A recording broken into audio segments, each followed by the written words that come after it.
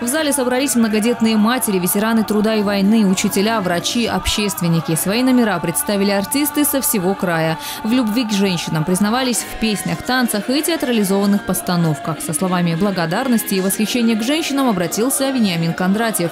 Губернатор края отметил, что именно благодаря им в домах есть тепло и уют, а значит и уверенность в завтрашнем дне. Какой должна быть настоящая женщина? Все ищем, слова подбираем. Да счастливой она должна быть. Счастливой должна быть настоящая женщина. Вы жизнь создаете.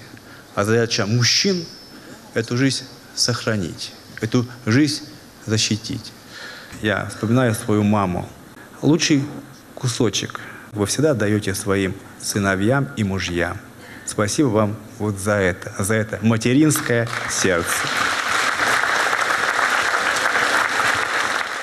После концерта уже в неформальной обстановке губернаторы и представительницы слабого пола говорили о нравственных ценностях и предназначении женщины. Вениамин Кондратьев выразил надежду, что на Кубани удастся сохранить казачьи традиции и воспитать в их духе не одно поколение.